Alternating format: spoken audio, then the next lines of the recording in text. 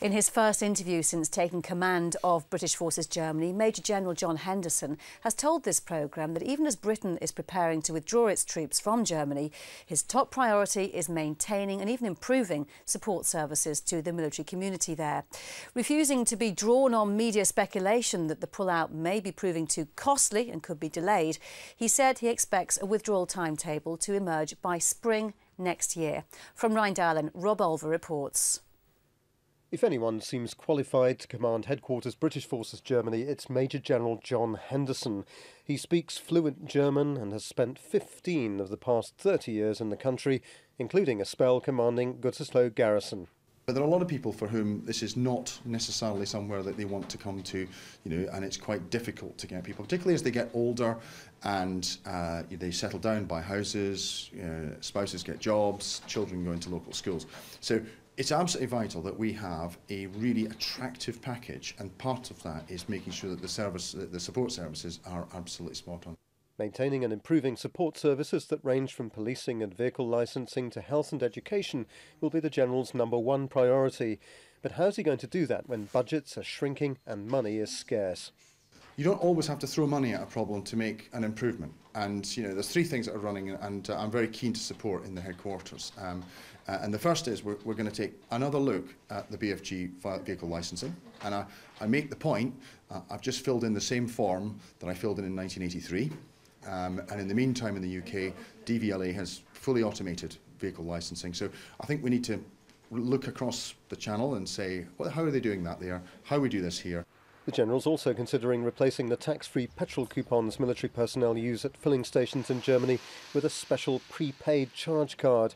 And he believes he can help the force's main retailer offer more to its customers.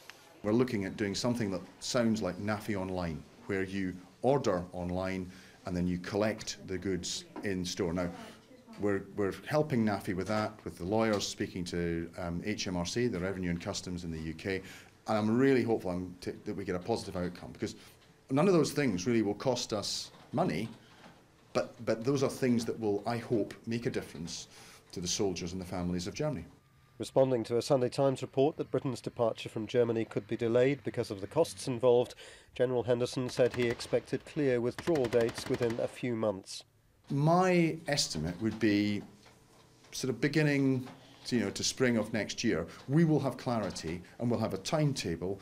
And remember, of course, it's important we get that timetable and we stick to it because it's not just us leaving, it's what the German uh, government and the local authorities are going to do with our barracks once we've gone. So, you know, once we say we're leaving on that time, then we really have to stick to that. Closing garrisons will be another big responsibility for headquarters British Forces Germany, and one its new boss wants the host nation more closely involved with. In the past, we've sort of waited to hand a letter to the German authorities, say, okay, that's the day that we're leaving, we think, and that unit will close, and that was the sort of that was the sort of level we were at. What I said is let's now let's now work at, and I've got agreement that we can work with the German authorities, so we can talk about jobs, and talk about housing, and, and use of the barracks post um, the British presence, and that sort of thing is really important because there are people who've worked for us all their working lives, and they've been very loyal to us. We will be loyal to them, and we're working closely, not just with the, the German authorities, but we're working with politicians and with the unions. And at the moment, fingers crossed, we are seen as a good employer who are looking after our, our people. And I want to keep that going.